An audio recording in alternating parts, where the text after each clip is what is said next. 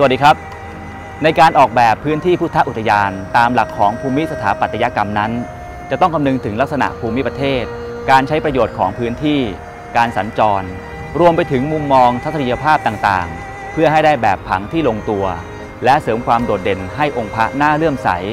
สมดังเป็นพุทธอุทยานอันศักดิ์สิทธิ์ครับ หลังจากการสำรวจพื้นที่ สถาปนิกจึงทำการวิเคราะห์ เพื่อหาความลงตัวของการออกแบบผัง ซึ่งพบว่า พื้นที่ระหว่างถนนหลักไปถึงภูเขา เป็นมุมมองที่งดงาม เมื่อนำองค์พระมาตั้งด้านหน้าภูเขาจะสามารถมองเห็นอย่างโดดเด่น ชัดเจน ดังนั้นจึงให้ระยะทางระหว่างทางเข้าไปจนถึงองค์พระ เป็นแกนหลักในการออกแบบครั้งนี้ หลังจากนั้นสถาปนิกจึงทำการแบ่งโซนพื้นที่ต่างๆ ภายในพุทธอุทยาน เพื่อให้เกิดประโยชน์สูงสุด สามารถตอบสนองการใช้สอยต่อไปในอนาคตครับ ขอเชิญร่วมเป็นส่วนหนึ่งในการสร้างพุทธสถานอันยิ่งใหญ่ของไทย พระพุทธเมตตาประชาไทยไตรโลกนาถคันธรราชอนุสรณ์ในพระบรมราชินูปถัมภ์